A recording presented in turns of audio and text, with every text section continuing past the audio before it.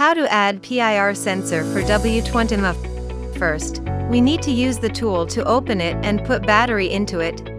Then on the app, click device, choose detector, click plus button.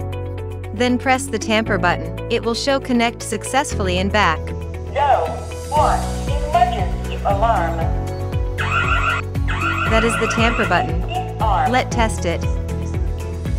Press the tamper button, the control panel will alarm at once and disarm it.